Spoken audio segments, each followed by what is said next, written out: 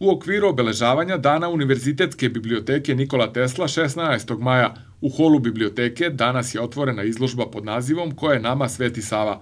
Autorka izložbe je bivši bibliotekar Jelena Glišić.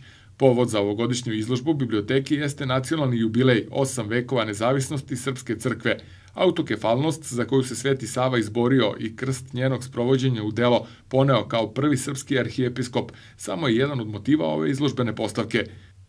Njegovom rukom je ovenčan krunom prvi srpski pravoslavni monarh Stefan Prvovenčani. On je bio propovednik i tumač reči Božije, svenarodni prosvetitelj, državotvorac i mirotvorac, utemeljivač crkvene i građanske legislative, medicinske nauke i mnogih književnih rodova.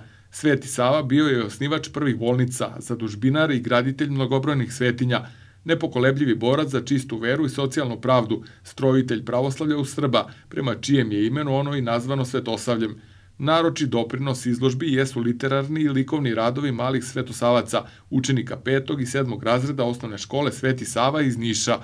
Prisutnima su se obratili upravnica biblioteke Snežana Bojović, a izložbu je otvorila dekanka Filozofskog fakulteta u Nišu, profesor dr. Natalija Jovanović.